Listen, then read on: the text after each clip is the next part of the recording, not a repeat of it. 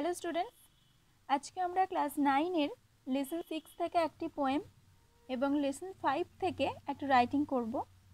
আগে আমরা লেসন সিক্সের পোয়েমটি করব, তারপর রাইটিংটা করব। আগে চলো পোয়েমটা পড়ে নিই। পোয়েমটার নাম কি দেখো আগে? পোয়েমটার নাম রয়েছে, mild the mist upon the hill. Upon the hill, পাহাড়ের উপর, মিস্ট, কুয়াশা, মাইল্ড মানে হালকা হালকা কুয়াশা। পাহাড়ের উপর হালকা কুয়াশা। কবি Emily Jane Bronte. Emily Jane Bronte বিখ্যাত একজন কবি। তিনি স্পেশালি বিখ্যাত তার একটি উপন্যাসের জন্য, যার নাম উইদারিং হাইটস, সেটি তিনি তার ইলিস বেল ছদ্মনামে লেখেন। তিনি বেশিরভাগ জায়গাতেই যে নৈসর্গিক দৃশ্যের বর্ণনা সেইগুলোকে তিনি ফুটিয়ে তোলেন। তাহলে আমরা আগে এই কবিতাতেও আমরা সেটা দেখতে পাবো। আমরা আগে কবি পরিচিতিটা দেখে নিই, দেখো। Emily Jane Bronte eighteen eighteen to eighteen forty eight অর্থাৎ আঠারোশো আঠারো সালে জন্ম এবং আঠারোশো আটচল্লিশ সালে মৃত্যু ওয়াজ ইংলিশ পোয়েট একজন ব্রিটিশ কবি অ্যান্ড নভেলিস্ট এবং ঔপন্যাসিক বেস্ট রিমেম্বার বিশেষভাবে পরিচিত ফর হার অনলি নোবেল তার একমাত্র উপন্যাস উইদারিং হাইটস লং কনসিডার্ড দীর্ঘকাল ধরে বিবেচিত ক্লাসিক অফ ইংলিশ লিটারেচার ইংরেজি সাহিত্যের সর্ব, সর্বোৎকৃষ্ট গ্রন্থ হিসাবে। অর্থাৎ তার এই উইদারিং হাইটস এই উপন্যাসটি ইংরেজি সাহিত্যে একটি সর্বোৎকৃষ্ট গ্রন্থ হিসাবে দীর্ঘকাল ধরে পরিচিত এবং সেই জন্যই তিনি বিশেষভাবে পরিচিত হয়ে রয়েছেন ইংলিশ সাহিত্যের জগতে। এবার কবিতার সম্পর্কে কি বলেছে দেখো। ইন দিস পোয়েম এই কবিতায় দ্য ব্লু মিস্ট নীল কুয়াশা দ্যাট সারাউন্ডস যেটা ঘিরে থাকে দ্য ডিস্ট্যান্ট মাউন্টেন্স দূরবর্তী পর্বতমালাকে রিমাইন্ডস দ্য পোয়েট কবিকে মনে করিয়ে দেয় of the happy days of youth and childhood তার যৌবন এবং শৈশবের সুখী দিনগুলির কথা। That she has left behind যেটা তিনি পিছনে ফেলে এসেছেন। অর্থাৎ এই কবিতায় আমরা দেখতে পাবো নীল কুয়াশা। কবিতাটার নাম থেকে বোঝা যাচ্ছে এখানে কুয়াশা রয়েছে। নীল কুয়াশা কবিকে কি করে? যেটা পর্বতের চারিদিকে ঘিরে থাকে, সেটা কবিকে মনে করিয়ে দিচ্ছে। তার যুবক বয়সের অর্থাৎ তার যৌবন বয়স, তারুণ্যের সময় এবং তার শৈশবের সময় যে সুখী দিনগুলো সেগুলোর কথা। আর কি? As she describes the landscape যেহেতু তিনি বর্ণনা করেন নৈসর্গিক দৃশ্য অর্থাৎ সুন্দর প্রাকৃতিক দৃশ্য she saves from the present moment to the past তিনি বর্তমান মুহূর্ত থেকে অতীতে and then to the present again এবং আবার তিনি বর্তমানে ফিরে আসেন, স্থানান্তরিত হন।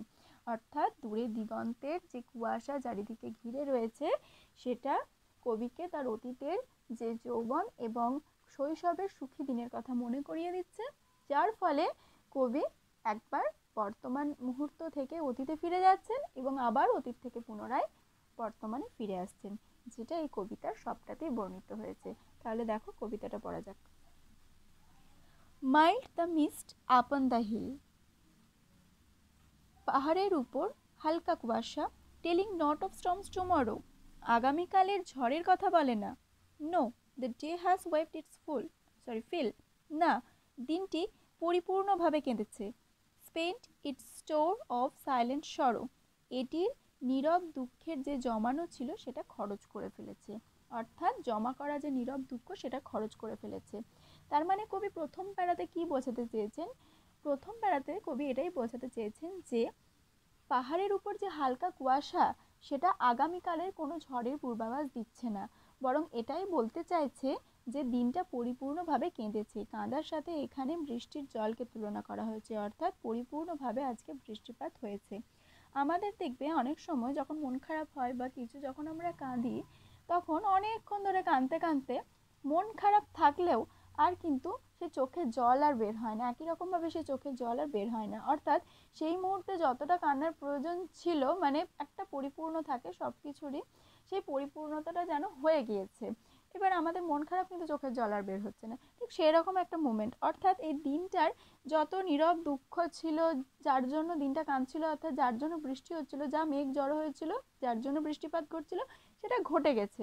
এবং সেটা আগামীকালের আর কোনো ঝড়ের কথা বলছে না। এবং এটি কবি কী থেকে বুঝতে পারছেন? সেই পাহাড়ের উপর হালকা কুয়াশা দেখে। আর এটা কিন্তু কবি এখন তার বর্তমান অবস্থায় আছেন। এবং এই ঘটনার পরিপ্রেক্ষিতে তিনি কীভাবে অতীতে ফিরে যাচ্ছেন সেটা দেখুন। Second para O I am gone back to the days of youth ও আমি আবার সেই যৌবনের দিনগুলিতে ফিরে গিয়েছি। I am a child once more আমি আরেকবার শিশু হয়ে গিয়েছি। And neath neath means beneath নিচে. And neath my father's sheltering room roof আর আমার বাবার ছাদের নিচের আশ্রয়ে and near the old hall door এবং পুরনো বড় ঘরের দরজার কাছে। অর্থাৎ কবি তার বাবার যে পুরনো হল ঘর রয়েছে, সেখানে সেই বড় ঘরের দরজার কাছে দাঁড়িয়ে, সেই ছাদের নিচে দাঁড়িয়ে তিনি প্রকৃতির দৃশ্যটা দেখছেন। তিনি প্রাকৃতিক দৃশ্য দেখছেন এবং তিনি মনে করছেন যে তিনি যেন আবার তার শৈশবে ফিরে গিয়েছেন। তিনি আবার যেন একবার শিশু হয়ে গিয়েছেন। বাবার ছাদের নিচের আশ্রয়, অর্থাৎ এটা মানে কবি বলতে চাইছেন একটা নিরাপদ আশ্রয়, যেখানে কবি নিরাপদে প্রাকৃতিক দৃশ্যটাকে সুন্দরভাবে অনুভব করতে করতে ভাবছেন তার অতীতের দিনগুলোর কথা, তার অতীতের কথা মনে পড়ছে এবং তিনি যেন প্রেজেন্ট মুমেন্ট থেকে পাস্ট মুমেন্টে শিফট হয়েছেন, অর্থাৎ ফিরে গেছেন। তারপরে দেখো third para I watch this cloudy evening fall আমি দেখি মেঘাচ্ছন্ন সন্ধ্যা নেমে আসে। After a day of rain একটা বৃষ্টির দিনের পর মানে বৃষ্টির দিন, তারপরে মেঘাচ্ছন্ন সন্ধ্যা নেমে আসছে, যেটা আগামীকালের কোনো ঝড়ের কথা কিন্তু বলছে না। ব্লু মিস সুইট মিস নীল কুয়াশা মিষ্টি কুয়াশা অফ সামার পল গ্রীষ্মের ঘন মেঘের। অর্থাৎ গ্রীষ্মের ঘন মেঘের নীল কুয়াশা, মিষ্টি যেটা যেটা খুবই মিষ্টি কুয়াশা দ্য হরাইজন্স মাউন্টেন চেন যেটা পর্বতমালাকে দূরে দিগন্তের পর্বতমালাকে ঘিরে রাখে। অর্থাৎ ঘন মেঘের যে নীলচে নীলচে যে কুয়াশা, সেটা খুবই মিষ্টি। অর্থাৎ সেটা খুবই সুন্দর। আর সেটা দিগন্তের পর্বতমালাকে যেন ঘিরে রয়েছে। তারপরে দেখো the damp stands in the long green grass অর্থাৎ ভিজে ভিজে ভাব যেটা লম্বা সবুজ ঘাসের উপর। কুয়াশা পড়লে যেরকম ঘাসের উপর একটা ভিজে ভিজে ভাব দেখা যায়, সেরকম। As thick as morning tears morning tears যেন সকালের চোখের জলের মতোই ঘন and dreamy scents of fragrance pass এবং সেই স্বপ্নময় সুগন্ধ পেরিয়ে যায় that breath of other years যেটা অন্যান্য বছরের শ্বাস প্রশ্বাস নেয়। শ্বাস প্রশ্বাস নেয় মানে অন্যান্য বছরের কথা মনে করিয়ে দেয়। অন্যান্য বছরের কথাগুলো ব্যক্ত করে। অর্থাৎ স্বপ্নময় কেন বলছে? মানে এরকম সুগন্ধ যেন বাস্তবে হয় না, যেন স্বপ্নেই হয় এটা। সে স্বপ্নময় সুগন্ধ, অতীব সুন্দর অতীব সুন্দর একটা দৃশ্য। সেই দৃশ্যটা, সেই সুগন্ধটা যেন অন্যান্য বছরগুলো শ্বাস প্রশ্বাস নিয়ে ফেলে, অর্থাৎ অন্যান্য বছরগুলোর কথা স্মরণ করিয়ে দিচ্ছেন। তাহলে আমরা এখানে প্রথম প্যারায় দেখতে পেলাম কবি প্রেজেন্ট মুমেন্টে দাঁড়িয়ে প্রকৃতিকে দেখে সেকেন্ড প্যারায় কবি তার পাস্ট মুমেন্টে চলে যাচ্ছেন এবং তিনি তার আবার প্রেজেন্ট মুমেন্টে দাঁড়িয়ে আবার প্রকৃতিকে দেখছেন এবং তারপরে তার আবার পাস্ট মুমেন্টের কথা মনে পড়ছে। অর্থাৎ কবি একবার প্রেজেন্ট থেকে পাস্টে এবং তারপরে আবার পুনরায় প্রেজেন্টে এসে অতীতের কথা মনে করছেন। এই টোটাল কবিতাটাতেই আমরা কবির যে শিফটিং অর্থাৎ mild the mist upon the hill পাহাড়ের উপর হালকা কুয়াশা দেখে কবির যে একটা মনের অনুভূতি ব্যক্ত হয়েছে এবং তার ফলে কবির যে বর্তমান পরিস্থিতি থেকে শৈশবের দিনে ফিরে যাওয়া, তার বাবার ছাদের নিচের যে নিরাপদ আশ্রয়ের কথা মনে করা, একটা নৈসর্গিক প্রাকৃতিক দৃশ্য যেটা অতীব সুন্দর সেটা বর্ণনা করা এবং আবার পুনরায় বর্তমানে ফিরে আসা, সেই টোটাল বর্ণনাটা এই কবিতাটাতে রয়েছে। এখানে কতগুলো ওয়ার্ড নোটস দিয়েছে, দেখো। ফিল মেক ফুল মানে পরিপূর্ণ করা। Neath and abbreviated form of beneath বিনিতের একটি সংক্ষিপ্ত রূপ বিনিত মানে নিচে। পল আ থিক ক্লাউড একটি ঘন মেঘ ফ্র্যাগ্রেন্স সুইট স্মেল সুগন্ধ, মিষ্টি সুগন্ধ। তোমাদের যেটা থাকবে, কোনো এক্সারসাইজ আজকে দিইনি। এই টোটাল পোয়েমটা চারটে প্যারা, খুব ছোট ছোট। এই চারটে প্যারা বেঙ্গলি মিনিং সহ মুখস্থ করবে। বেঙ্গলি মিনিং আমি তোমাদের পাঠিয়ে দেবো, ঠিক আছে? এবার চলো আমরা রাইটিংটা পড়ে নিই। দেখো রাইটিংটা কি দিয়েছে? লেসন ফাইভের exercise five write a letter within hundred words to the postmaster পোস্টমাস্টারকে চিঠি লেখো একশোটি ওয়ার্ডের মধ্যে অফ ইউর লোকালিটি তোমার অঞ্চলে informing him about the loss of an important letter address to you তাকে এটা জানিয়ে যে তোমার ঠিকানায় আসা একটা গুরুত্বপূর্ণ চিঠি হারিয়ে গেছে and requesting him to help you get it এবং তাকে অনুরোধ করো যে এটিকে আবার ফিরিয়ে দিতে। তাহলে চলো লেটারটা দেখি। অফিসিয়াল লেটার লেখার স্ট্রাকচার তোমরা জানো, তাও এটা থেকেও একবার বুঝতে পারবে।